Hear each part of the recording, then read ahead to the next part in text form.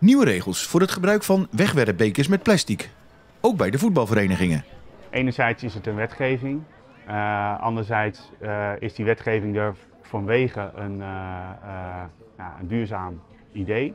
Hè, dus het terugbrengen van de afvalberg. en wij vinden dat als vereniging ook belangrijk dat wij een steentje bijdragen aan een beter milieu. Maar ook tijdens de rust worden er geen plastic bekertjes meer uitgedeeld. Lekker!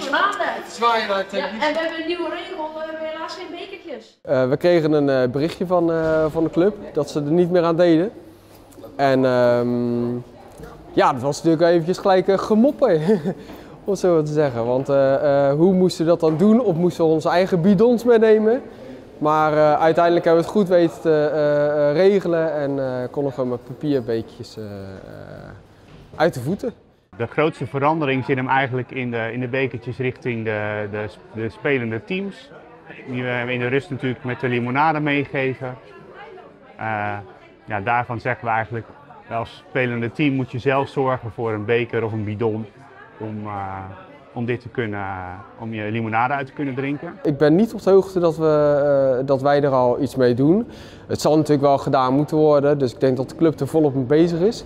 Maar um, ja, het is, uh, ik denk dat we dat de komende weken een beetje uh, te horen zullen krijgen.